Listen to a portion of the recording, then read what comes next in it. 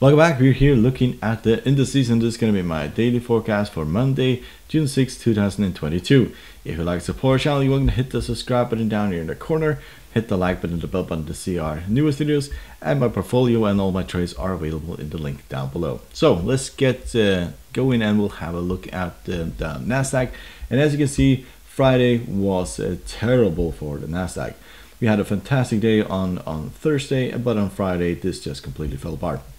However, we did not break below the lows of last week. So this is Tuesday, uh, Wednesday, Thursday, and Friday. And if we break below uh, 12.4, then we could drop towards the uh, middle of the Bollinger band, which is 12.2. And after that, towards the very bottom of the Bollinger band, roughly 11.5. And that's also the lows uh, from, from uh, mid-May. So at this current stage, it looks like we are just doing more of the same. We are rallying up towards the middle of the Bollinger band, towards the 50 moving average or the 200 moving average. We can see we don't here, dropped, rally, to, up, to, up, to, up towards the 200 moving average, drop up towards the uh, 20 simple, 20 and almost to the 50 and now it kind of looks like we're heading back south.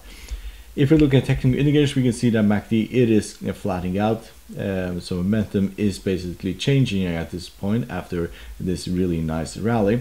We can see the MACD, we can see the stochastic has completely changed and is bearish at this point, and the R, the RSI as well. So momentum is changing to the downside, and this is um, basically um, bear market rally that we have been witnessing here at this current stage if we see this market take out the highs here of uh, 12.9, then we could head towards the 50 moving average at 13.2. And after that, towards uh, the 200 moving average. That's also where we'll find uh, these uh, double tops here that we basically need to take out in order to go higher. If we drop below the lows here, then we're going significantly lower towards uh, probably the 200 moving average in the in the weekly chart. So if we look at the S&P 500, very similar here. We have been rallying up towards the 50, up towards the simple 20 moving average, uh, above the 200 moving average, test the 200 moving average, 20 simple, 20 simple, and now yet up towards the 50 moving average and it looks like we're heading back south. So we are technically in a downtrend.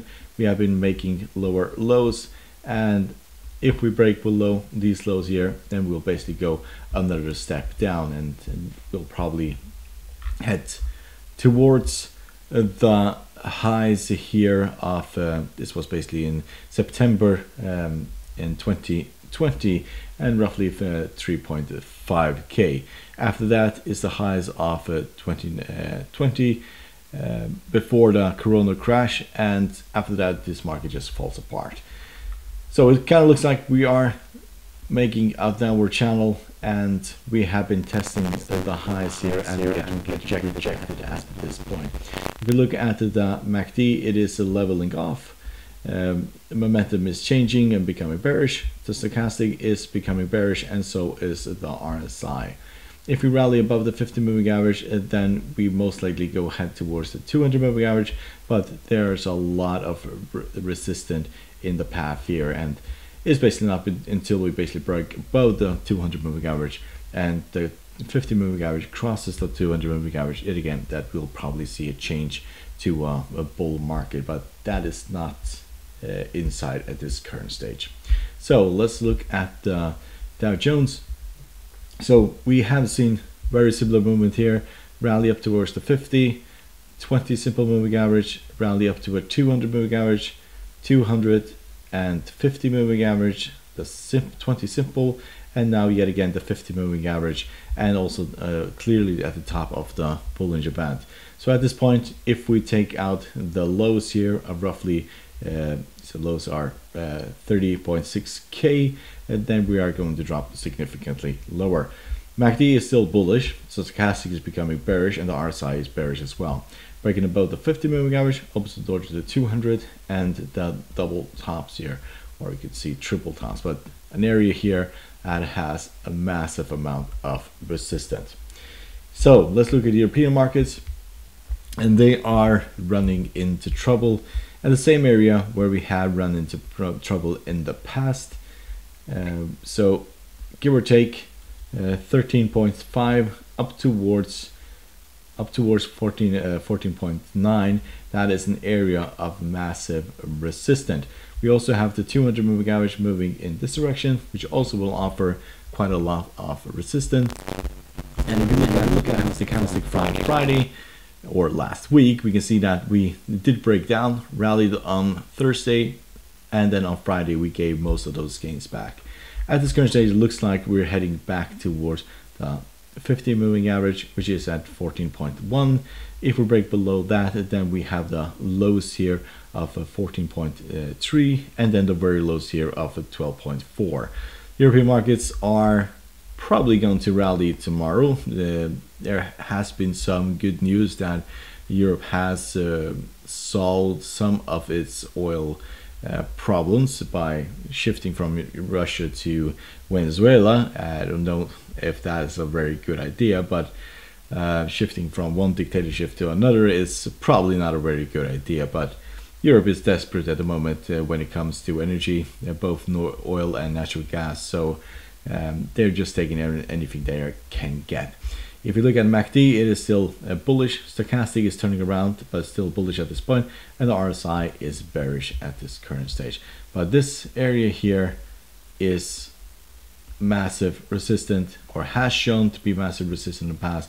Breaking above that, then 200 moving average comes into play, and if we break above the 200, then we'll probably see uh, this continue significantly to the upside. To the downside, it is the previous lows here in uh, in the beginning of May, roughly 13.3. That is going to be very interesting whether or not we drop below that. So let's look at the VIX. So VIX has, if you look at this, we rallied up towards the top of the Bollinger Band, broke towards the 200 moving average, then rallied up towards the 20 simple, back testing uh, the 200 moving average, then to the very top of the Bollinger Band, and now heading towards the 200 moving average yet again. We did rally at the end of uh, uh, Friday, but gave most of those gains back. So we could see a continuation dropping towards the 200 moving average yet again, but this will most likely offer quite a lot of uh, support. So after this, this probably will continue rallying to the upside. We are kind of building up towards um, higher volatility, and uh, 40 could be um, something that we see in the next uh, few weeks. Breaking below the 200 moving average, then we are going significantly lower. MACD is still bearish, the stochastic is becoming bullish, and the RSI is bullish as well. So let's look at the 10 year. So 10 year is kind of making this flag formation here and um, breaking above uh, 3.2 that opens the door to well significantly higher levels uh, we haven't seen these levels since uh, back in 2018 where we were at the 3.2 so so um, so that is kind of a big deal if we go there. We found massive support uh, down here at the 50 moving average rallied but on Friday we gave most of those gains back. But if you see the in technical indicators MACD is crossing the signal line, stochastic is bullish and RSI is bullish as well. So we may see a rally in the MACD in the next few weeks. Uh, go in the next probably two weeks. And um, if we manage to break above here then that's definitely yeah, a game changer.